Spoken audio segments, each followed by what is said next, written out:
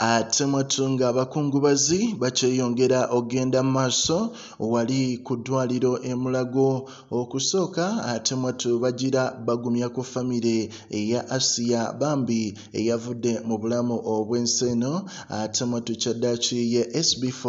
yavuddeyo naba nga atuwa updates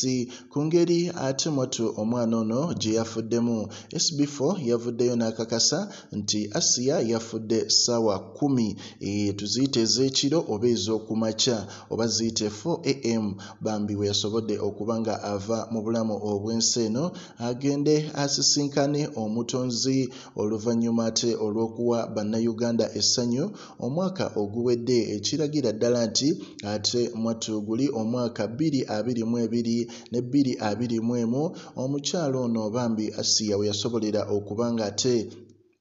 akyaka nnyo mu ggwanga erya uganda ne munne charles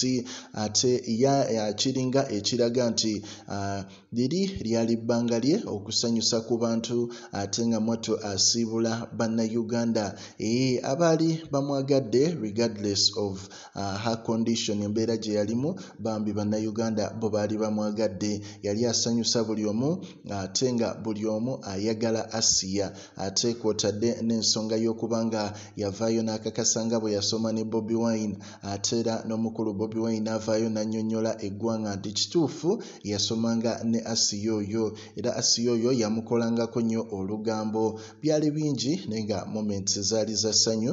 omuwala oyo zaalaze bannayuganda. Naye nga essaawa zino abantu bakyeyuwa wali emulago basobole okuba nga bagumya famire ya asiya. Era tujja kuba tukuwa updates endala ku binaaba biddiridde paka we banaasobola okuba nga ate mwattu bamuziika progen media likinga commentinga era osubscribinga